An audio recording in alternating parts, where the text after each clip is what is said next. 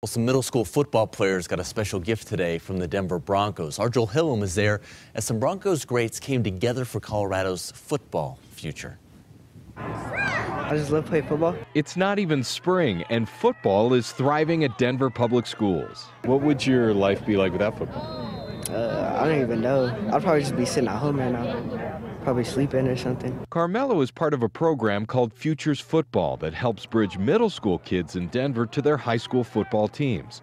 It's a partnership started between DPS and the Denver Broncos almost 10 years ago. Teams from the outside would come in with 150 kids, and we'd only have 14 kids.